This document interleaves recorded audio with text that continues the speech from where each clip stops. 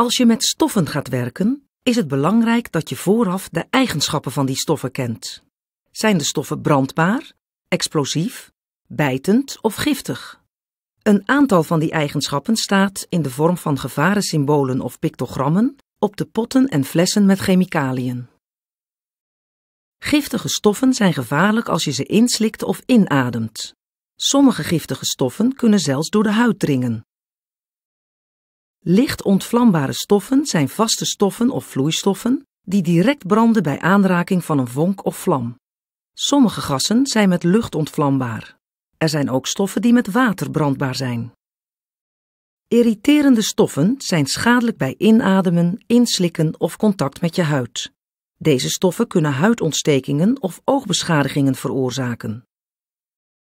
Een bijtende stof kan een andere stof of de huid aantasten. Ook deze stoffen kunnen huidontstekingen of oogbeschadigingen veroorzaken. Explosieven of springstoffen zijn ontplofbare vaste of vloeibare stoffen. Dit zijn stoffen die zeer snel reageren.